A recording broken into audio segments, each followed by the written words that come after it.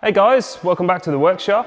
Um, we're going to start this video with something fun. We're actually going to be making some hoses, which is primarily what we do. Uh, the last few videos have pretty much had none of that. So um, yeah, what we've got, we've got a customer who wants a fueling kit for his RX-7, which is going to be very similar to mine. Um, now, my car the reason why it ends up in so many bits is because I get asked to do these quite often. So it ends up in me having to take my car apart to tailor what the customer wants. Um, nine times out of 10, it's using the Radium Engineering fuel rails, primary and secondary rail, which is also what I've got on my car. Um, so depending on how they want their fuel hoses set up, I tend to disassemble our car. Um, then make the hoses to suit how they want, use my car as a bit of a platform, and then take it all back off and put mine back together. Um, most of the time mine doesn't end up going back together. It just ends up staying apart, ready for the next one. But we're gonna go through how we've designed this system, because you might find it useful uh, if you've got an RX-7. And it'll also cover assembling some of the hoses and some bits to look out for, how to measure, how to cut or how, at least how I like to cut the hose. Um, yeah, so it could be quite instructional, quite good. So first, we've got a bit of pen and paper and let's design the system. So this customer is still using the stock hard lines, which on the RX-7 we have a feed and a return. Now we will also have the secondary fuel rail, which we're going to badly draw over here. And we have the primary fuel rail, which again we're going to badly draw here. So because this customer has uh, a large target horsepower around the five to 600 mark, um, it's at this kind of power that I would recommend using a parallel system. So what we're going to have is the feed line is going to come to the back of the engine bay. It's going to split using a Y piece and feed the primary, sorry, secondary and the primary both at the same time. So each fuel rail will have its own feed line. And so over here we have the fuel pressure regulator each fuel rail will also have its own outlet or return back to the fuel pressure regulator. They're using an Aeromotive fuel pressure regulator which has two return ports um, from the rail and one output port. So from each fuel rail we're going to send two hoses straight back to the regulator and then out of the regulator back to the return.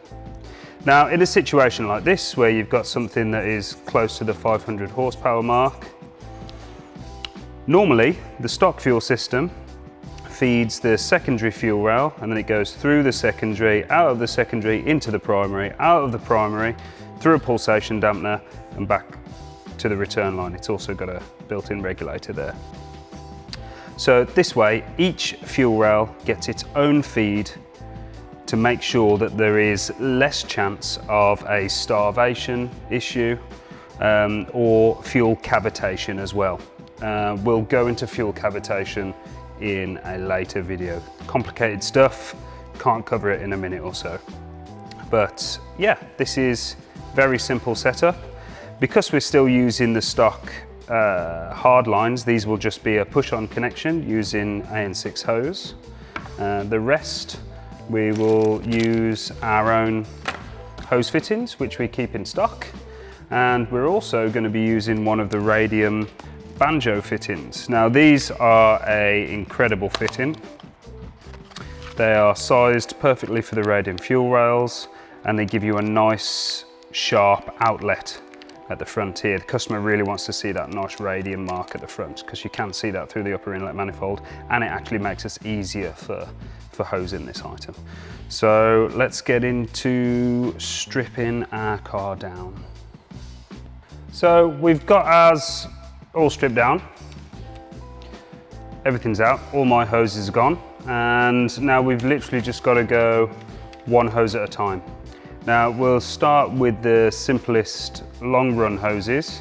As you can see I've got the radium primary and secondary fuel rail in here. The customer has his fuel pressure regulator mounted over here, the same as I used to have, uh, but my system's going to change slightly. So we're going to start with the nice hose that uses the radium ORB fit in here and run that across and over to the fuel pressure regulator, if you can see that. So let's start sizing that up.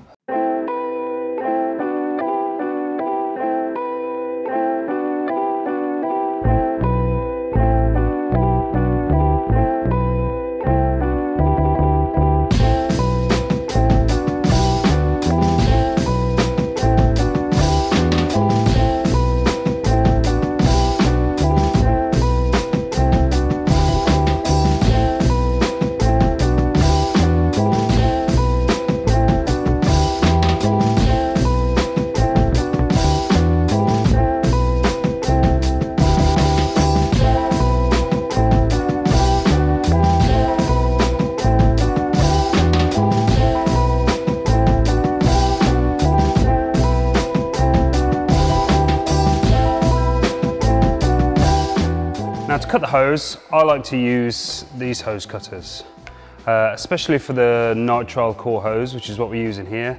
They give you a really, really nice clean cut as long as they're sharp. Now these don't last forever. If you're cutting something that say has a stainless steel outer braid, eventually these blades can start to dull.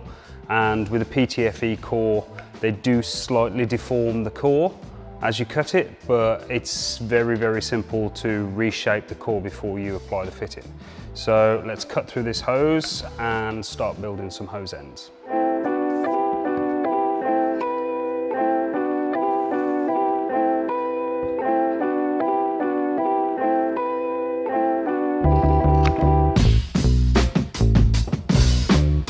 So this hose needs a straight and a 90 degree fitting and here we have some two-stroke oil which we use just to lubricate the end of the fitting before we go to assembly. So all you do is disassemble the nut from the fitting and this is for the nitrile series of hose. The PTFE is, PTFE is quite different to assemble but you simply push the hose into the end of the nut Sometimes you need to use a flat surface, especially with some of the larger sizes. Make sure it's seated at the back of the thread. And then we also keep these nylon vice jaws, which are a great tool for assembling hoses because they don't mark your fittings and it means you can lock them in a vise. And you simply get the end of the fitting, just dip the end in some two-stroke oil. Two strokes good because it can get burnt up. If it's fuel, it basically doesn't contaminate any system you're going to put it in and just push it in finger tight as far as you can. And then you just need to select the correct size spanner. Now you can use aluminium spanners, we sell these on our website, or you can also use an adjustable wrench. If you're careful with an adjustable wrench, you can assemble it without scratching it. But for the nitrile series, I like to use the adjustable spanners. It pretty much guarantees you're not going to damage the fitting. Whereas for the PTFE, sometimes the torque required can damage these spanners. So it's, it might be best to start it using one of these and then swap over to an adjustable wrench. But let's tighten that up.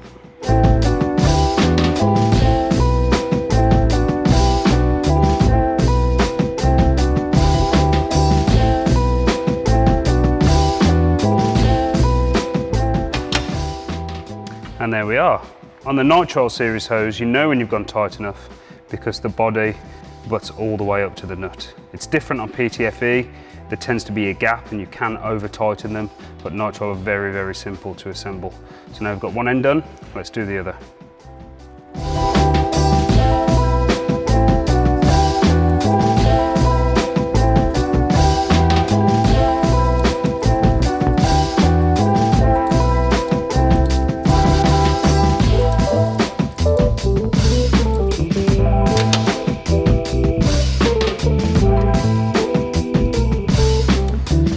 Right, so we've got our first hose in and this is the return from the secondary rail and it goes over here to meet the fuel pressure regulator.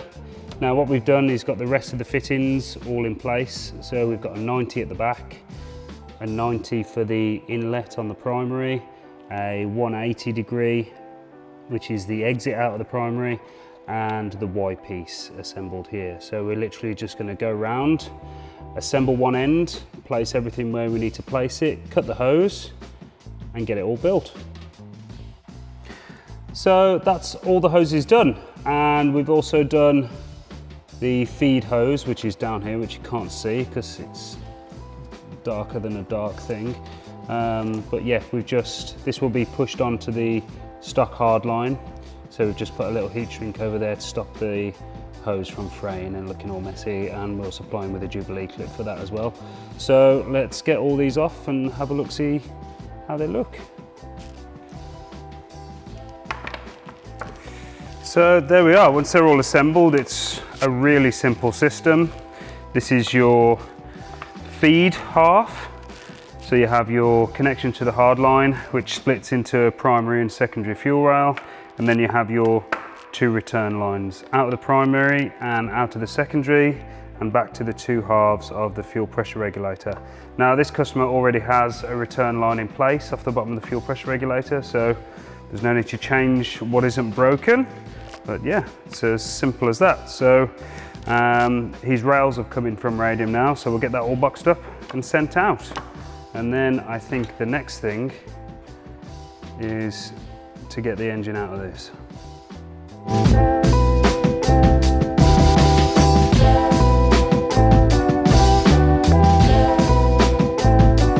So it's been a busy few days and I haven't filmed some steps. So just to get you kind of up to, up to date, I suppose.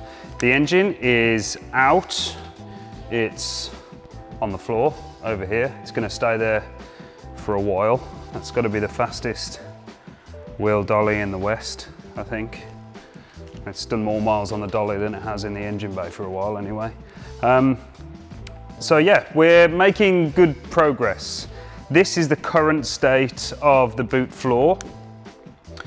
The large bulk of it is done. It's all stitch welded and I've run seam sealer along the top and along the bottom as well. So this, this bit's all buttoned up, ready uh, to be painted. It's got a zinc coating on it anyway. But the, the next step is this back part and in all honesty, I'm struggling to find, uh, well, struggling to make a decision on the most elegant way to do this because there's a chance I could actually create a nice little pocket here um, if I bend the sheet metal correctly instead of just following. These bits here will have to just be flat like the rest and then if I can curve it down, make a nice little pocket and then curve it back up for this, I think that would be quite nice and if I can blank this off close so that the chassis doesn't get full of junk and same here. Uh, I need to restitch these two bits back together and there's still some horrible holes from the old cage to fill over here as well. Um, but yeah, so I'm just going to spend a bit of time finagling with some cardboard and try and figure out a way that is that looks nice, but it has a purpose if I can. Um, also, the entire interior is now stripped out. Um, and this has highlighted some more issues as this car has had multiple bolt-in cages. So there is holes upon holes in the floor. There's just no end of holes. So I'm hoping I can convince uh, Jason at Clark Custom Fabs to, um, while he's in here putting the feet in for the new cage, just kind of tidy this up a little bit for me but if not I can plate it all up. And there's some extra holes in the floor from when I used to have coolant pipes running through here when we had an external rad. Uh, and it's just a bit of a mess. But yeah. So while I'm waiting for Jason to find a gap in his calendar um, let's try and figure out a nice way to finish this boot floor and see what we end up with.